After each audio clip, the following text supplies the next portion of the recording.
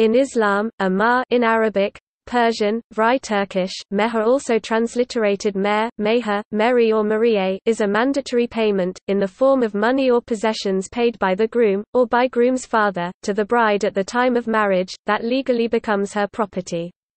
While the mahr is often money, it can also be anything agreed upon by the bride such as jewelry, home goods, furniture, a dwelling or some land. Mahr is typically specified in the marriage contract signed during an Islamic marriage. Dower is the English translation that comes closest to Islamic meaning of mahr, as dower refers to the payment from the husband or his family to the wife, especially to support her in the event of his death. However, mahr is distinct from dower in two ways, one mahr is legally required for all Islamic marriages while dower was optional, and two mahr is required to be specified at the time of marriage when a certain amount is promised, if not paid immediately, while dower is not paid until the death of the husband. Mahr also can be classified as a form of bride wealth described by anthropologists as payments made from the kin of the groom to the kin of the bride, however, mahr is paid directly to the bride and not her parents. In fact, as her legal property, mahr establishes the bride's financial independence from her parents and in many cases from her husband, who has no legal claims to his wife's mahr. The terms, dowry and bride price are sometimes incorrectly used to translate mahr, but mahr differs from dowries in many other cultures. A dowry traditionally refers to money or possessions a woman brings forth to the marriage, usually provided by her parents or family, bride price to money or property paid by the groom or his family to the parents of a woman but not to the woman herself upon the marriage. In the event the marriage contract does not contain an exact, specified mahr, the husband must still pay the wife an equitable sum. The requirement of a mahr is mentioned several times in the Quran and Hadith. The mahr is often paid to the bride in parts.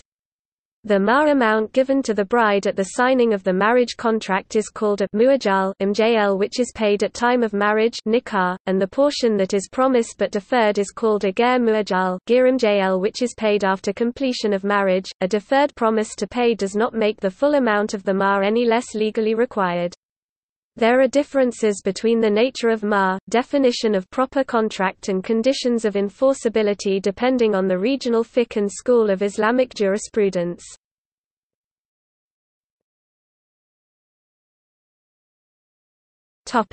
Etymology and history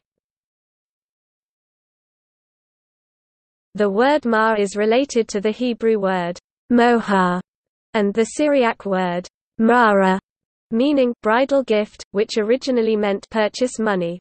The word implies a gift given voluntarily and not as a result of a contract, but in Muslim religious law it was declared a gift which the bridegroom has to give the bride when the contract of marriage is made and which becomes the property of the wife. Among pre Islamic Arabs, a bride price called mahr was an essential condition for a legal marriage.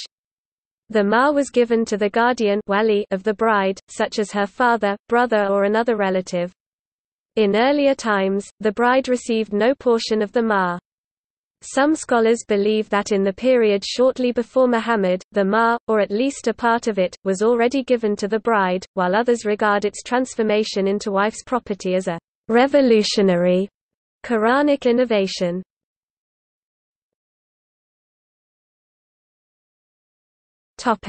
Structure of mahr A is part of every Muslim marriage contract. The mahr may be separated into two parts. First, there is the muqaddam, or the prompt mahr, which the wife must receive at or immediately after the marriage ceremony. The second part of the mahr, called the muakkar, is a deferred and promised amount, payable at any agreed-upon date following the consummation of the marriage. Often the deferred amount is larger than the amount paid at marriage.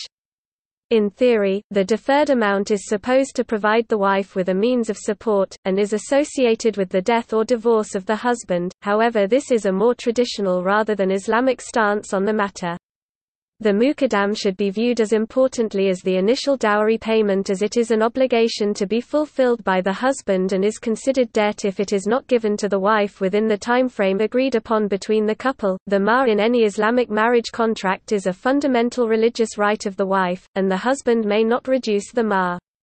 Even upon the husband's death, the deferred mahr is paid from his estate before all other debts, because it is a religious requirement. According to a hadith, the Muslim prophet Muhammad stated the mahr should be one gold piece, that the mahr amount is often negotiated between the parents or guardians of the bride and groom also called wali, and the parties often draft mahr agreements by filling in the blanks of form contracts that employ standard boilerplate terms.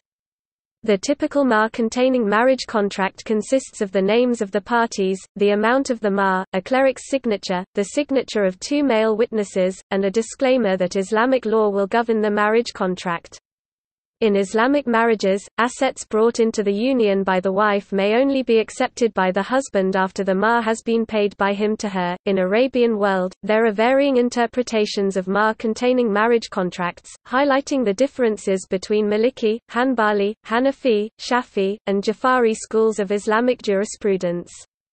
For example, the Hanafi school holds that if the woman initiates the divorce she cannot receive her mahr regardless of whether the husband is or is not at fault, while the Maliki school holds that when the husband is at fault for the divorce, the wife does not forfeit her right to the mahr even if she initiates the divorce. The schools also differ over the requisite number of witnesses to the contract. The Hanafi school requires two witnesses on the document for a mahr containing contract to be valid, while the Maliki school holds that witnesses are only needed at marriage's publication but not the document.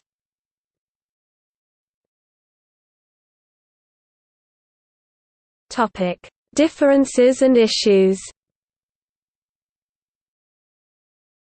Mahr is similar in legal enforceability to donatio propter nuptias of Eastern Roman law, except some critical differences.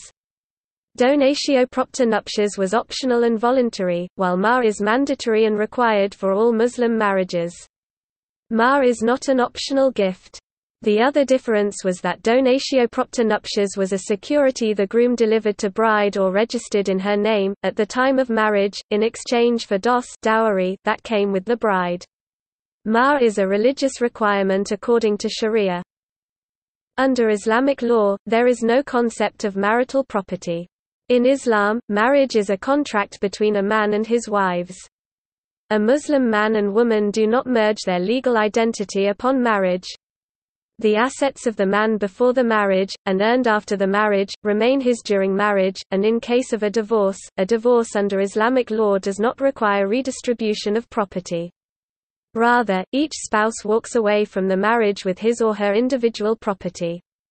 Divorcing Muslim women who did not work outside their home after marriage, except for the deferred mahr, are left with little or no claim on the collective wealth of the couple. The deferred mahr is considered a debt owed by the man to the woman, and is owed even if he has no assets. Divorce under Islamic law may take many forms. If a woman wishes to divorce her husband she has two options, seek a tafriq, or seek a khul. A tafriq is a divorce for certain allowable reasons, such as abuse or abandonment. This divorce is granted by a qadi, a religious judge. If a tafriq is granted, the marriage is dissolved and the husband is obligated to pay the wife the deferred mahr specified in their marriage contract. The second method, khul is a divorce without cause, by mutual consent. This divorce requires a husband's consent and it must be supported by consideration that passes from the wife to the husband. Often, this consideration consists of the wife relinquishing her claim to the deferred mahr. In contrast to allowable methods of divorce to a woman, a husband may unilaterally divorce his wife, as talaq, with no requirement to show cause, nor any intervention by a qadi.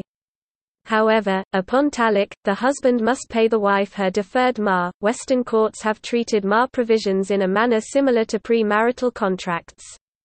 However, in many cases the courts have considered the validity of the marriage contract in cases such as where proper disclosures were not made at the time of marriage, the bride and groom did not separately consent without duress, and in case the bride or both spouses entered into a child marriage prior to a legal age of consent.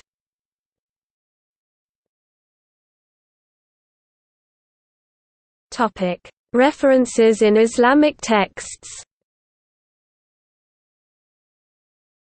The Encyclopedia of Islam's entry on Mahr states, According to a tradition in Bukhari, the mahr is an essential condition for the legality of the marriage, every marriage without mahr is null and void. According to Islamic teachings in the Hadith sayings of Muhammad, mahr is the amount to be paid by the groom to the bride at the time of marriage, some of which may be delayed according to what is agreed upon by the spouses. The mahr is for her to spend as she wishes. It can be cash, jewelry or any other valuable gift. In some cases, per Sahih al-Bukhari, volume 7, book 62, number 72, even an iron ring can be mahr. Surah 4.4, 4.19, 4.20, 4.24, 60.10 and 60.11 of Quran require a groom to give a dower to a bride.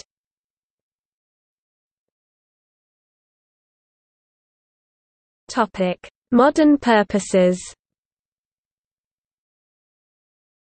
In 2003, Rubya Mehdi published an article in which the culture of mahr among Muslims was thoroughly reviewed. Mahr is a means of sustenance in case of a sudden death, divorce or other emergency.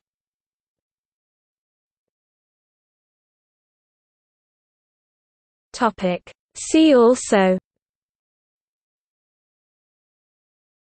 Dower Dowry an overlapping concept. Islamic marital jurisprudence. Women and Islam. What is Mahre in Iran